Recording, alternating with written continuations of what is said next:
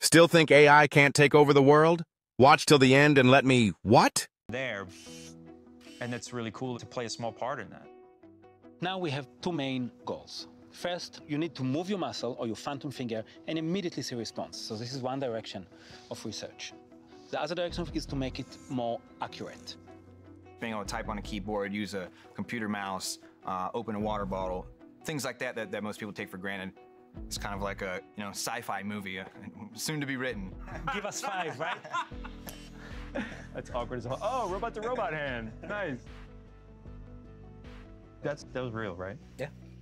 If I find out you guys had a button under that desk, No, no, I promise. I promise. What began as one man's pursuit to innovate music through AI and robotics unexpectedly became something much greater. A human body cooperating with a bionic hand is one thing. But is it possible to humanize a machine to the point that it truly seems lifelike? Or is that still sci fi and far, far away? Like and subscribe to survive the age of AI.